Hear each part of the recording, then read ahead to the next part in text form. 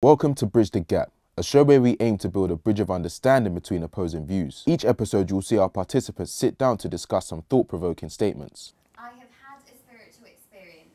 If they disagree with the statement, they'll leave their seat and allow those that agree to explain themselves. I used to be part of like the homosexual lifestyle for a while, for like a couple of years. And my spiritual experiences, it manifests physically as in like I'm being changed all the time. Those that disagree then return and express themselves to the rest of the group. A lot of our ancestors used to dance for rain. And when you guys mention your spiritual experiences, respectfully, to me it sounds like when they would dance for rain and the rain mm-hmm. would actually come. Hopefully, building a bridge of understanding. Let's see what happens.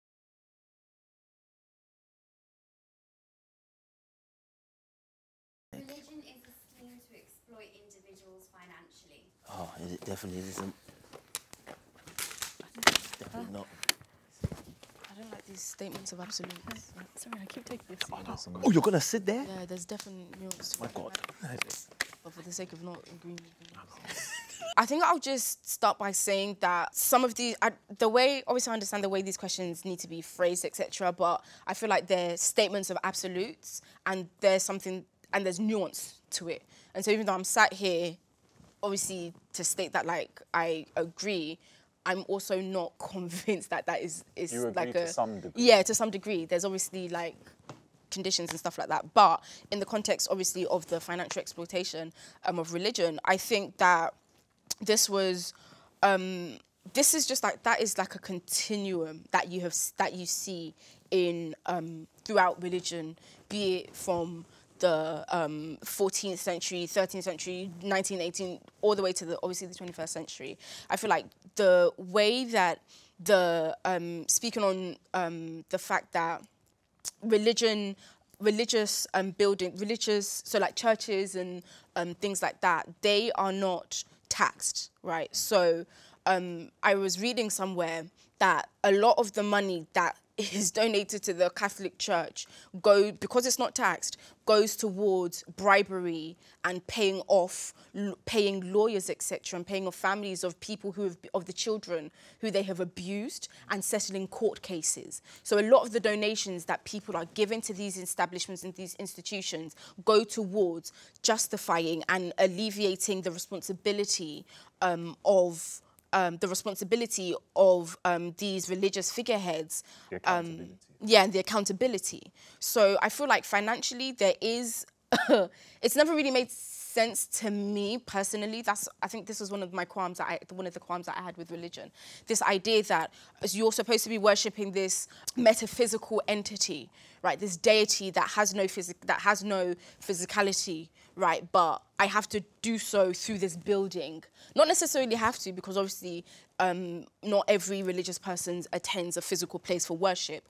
But obviously, talking about those who do, this idea that you have to go to this physical place to worship this metaphysical entity, and I have to pay to contribute in maintaining this physical building that isn't really necessary because I see it as a middle, as like a middleman um, in my communication, in my line of communication and addressal to um, this deity that I believe in. To me, it's never really made sense. I think the whole idea of tithes um, and shaming people as well, that happens a lot. Um, you get people who are being shamed into um, because of like little donations. You have people, obviously, even it's their autonomy, it's their decision to make, but you have people who um, are literally giving almost all of the money that they have into the for prayer, um, their pastor or their um, imam, etc. Obviously, the ones who are very money hungry, who are greedy in that way and gluttonous with money, um, you have them saying, "Oh, give this money, give this amount, and this will happen," and acting as if there's a cause, there's a causality and a causal link between the amount you donate and how much of your finances you um, sacrifice or um, invest, if some people want to consider it as that, um, into the um, into their place of worship but at the end of the day, it's there's no causal link between how much you donate and the results that you're going to get. Shayo, I'm born. I feel like, yeah, go go ahead, jump in. No, because even from the beginning, I said um, I believe religion is, well, from a Marxist perspective, so Karl Marx, obviously economist, philosopher, great thinker, like he said, religion is the opiate of the people. So when he said that, he basically meant that um, people are suffering out here, and religion is one of the tools used to kind of keep people just like, oh, you can work hard, you be a good person, you don't have to kill your masters, and um, in the afterlife you'll get some, what, like you go to heaven, you enjoy, you live up life of um, God and stuff. But like it's a tool used to keep people down, and the reason, so I wanted to break it down into history and present. History, I feel like religion has been used to exploit people financially. I think the example used of the Catholic Church, and churches in general, is a great example. Like the Catholic Church, if you look at any church from here to, to Rome as well, gold, gold stained windows, these buildings were so expensive to produce. Where did the money come from?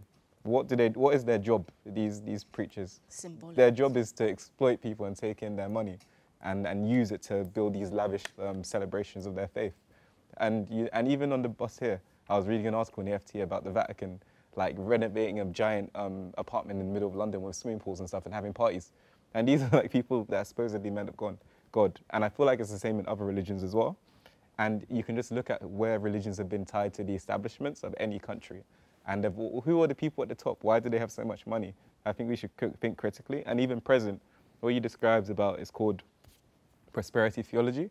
So it's kind of like a capitalist version of, of Christianity where you go to, especially in Africa and, and South America, where you go to these churches, you invest your 20p, it becomes two pound, your two pound becomes 20 pounds, whatever. Like it's gambling, isn't it? And it exploits people that are already suffering, they're the downtrodden, and um, it uses their desire to be better and gives them this like this capitalist vision of, oh, pray, um, do this stuff, invest in us, and look at the rich um, pastor driving a, a, a what is it, a Hummer Maserati. or a Maserati, or you know, or a, flat, a private jet, and you can be like this, and it's disgusting because it's capitalist and it, and because it exploits people who are deeply in, in pain and deeply suffering. And it's one of the, I think it should be abolished across the world and especially in Africa because I don't understand how people that are the most religious and the most poor don't understand what's the correlation. I'll wait for them to. Yeah.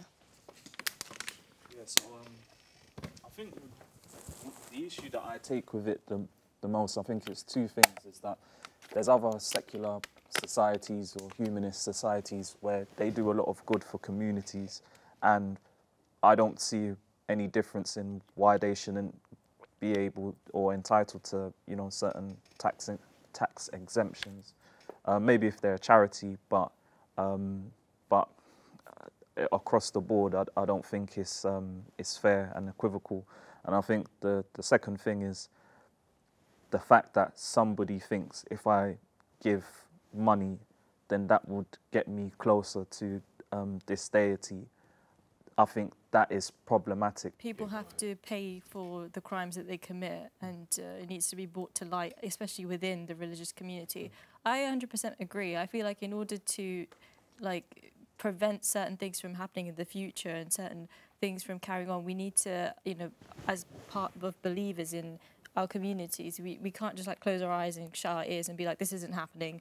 We need to come to terms with this and um, ask why. Why are these individuals, why are these leaders behaving in the way that they do, and how can they be held accountable? I disagreed with the statement just just because I think um, the re- religion, when it was set up um, by Jesus or Muhammad or um, Siddhartha Gautama, like whoever whoever originated the religion, I don't believe it was their intention. I, think they were spiritually enlightened people who, who wanted literally the best for humankind. And I don't feel like it, you know, the institutions we have today are at all Representative. of that, representative yeah. of the, the kind of future that these amazing people Had in mind. it had in mind at all. So I don't think it's you know it's religion it, itself. It's the religious leaders who are the tyrants who who need to be Held um, accountable. Held accountable. That's why I didn't really. That's why I said in the beginning I didn't really agree completely with it because it's a statement of absolute. There's obviously a lot of, um, like I said, nuances um, within. Um, um, like religion, etc., and the whole um, tithes and donations and stuff like that. Because at the end of the day, these people, even though there is an element of um, exploitation from um, on the part of the religious um, figurehead and the leader, the person who is giving that money is not being forced to. Obviously, there's different, there's nuances within that as well. There are people Yeah. who are being emotionally blackmailed into doing it. Yeah. You know, oh, how trying to quantify your belief. Oh, if the more you believe, the more you should give, etc. You have that kind of narrative. It's you have people yeah. who are giving more because they can give more. Like I said, there's a lot of nuance to it, and I think that obviously these. Um, like I think in the earlier conversations, one of the earlier conversations, we were talking about how um, the church. Um, I'm not going to say the church because then it's just kind of like the whole thing, but there were churches um, and mosques who were giving and donating to. Um, to like Grenfell and th- things like that. So the um, churches, um, ch- more charitable and more genuine churches and more charitable, more genuine mosques and more charity, charitable synagogues, etc., have always do kind of like who do abide and follow those um, the the charity um, element of their religion. Well done to you because on because you don't you don't necessarily like have to. It's just like a moral obligation, in, if that makes sense. Yeah. You get people who obviously will abuse that, um, but then on the other hand, you'll also But get people who are using. That's that's not again. Who is behind this? Because there's a, there's a key denomination in all this. That, that No, that's the thing. I think it's it's in it's. It's people. But we're not. I no don't- I don't think No, it's I don't think it No. is Yeah, I think it is. necessarily. I think you're what it is is. people doing what people do best. No, Which is but lie, then again, you're cheat, okay, skill. but, but you This can't is now human- compartmentalize the No, Can wait, I let add- me- It's just wait, a hold tool that they on, use to do that. Do you know what? because it's a Let- let me culture. it's let me just actually a culture. It's a culture, but it's just another tool to do that to people. I feel like um, where human beings are going to do what human beings do. And so it's just, to, to, to, for example, fire. Let's, let, let's use an example like fire. Fire can be a wonderful thing. Fire can, you know, light up your home, it can cook your food, it can keep you warm, it can actually bring life. But at the same time, someone can use that same fire and burn your house down. Does that mean that the fire is evil? No, it's the human being that's using it. And so with that statement where it says, is um, religion a tool to, you know, blind people? It can be because human beings use it all the time. They use it all the time and people use all kinds of things. I feel like the whole world is trying to exploit, I've- London is trying to exploit me. It's so expensive here out here. tax Do you know what I'm saying? own tax haven. So it's just like it, it, I think it's a very it's a dangerous thing to kind of kind of say that the institution. Personally, I personally believe that there's even a difference between religion and faith. Mm. Like I come, I'm not. I won't even call myself religious. I'm just a person that believes the Bible. I'm a Bible believing child of God. You know. Why is saying? Can I- that? can I- Why is that? And Can- can I- can because ask because question? no because because Yeah. for example Do you believe everything in the Bible, by the way? yes and Every single thing. every single thing. And it's because, for example, with Catholicism, is the way that they believe and the things that they believe in, their doctrines, is actually extremely different to the doctrine that I personally believe and my church believes. And so that's what I'm saying. It's religious is a kind of like a big umbrella term that kind of So quick, Can I quick, ask quick question. question? Quick I don't even question. like the Do you, Yeah. because you, you said something, Kintra, and I might be going off tangent, but you said that. Hey, hey, hey, hey, hey. Ah, Ginny, me. the way he's was- cutting, he's looking at you right now. Like, Will, Will was even setting it up. Man said- I was about to just. just I was about to just. He's like, I was about to let it back down. that, that, that right there. He's like, cut.